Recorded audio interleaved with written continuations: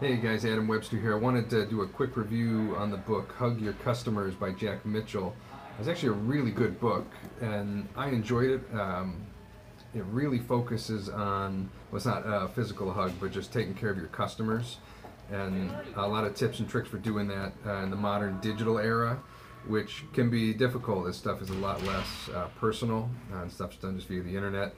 Uh, but when you're in business and you're taking care of your customers, it's vital to make them feel special. It doesn't take a lot of effort uh, to go out of your way to you know to make something special for them. There's a lot of little touches and a lot of tips and tricks to do that, uh, especially as you grow your business, how to keep doing that. And um, I really enjoyed it. Uh, definitely worth the read. check it out.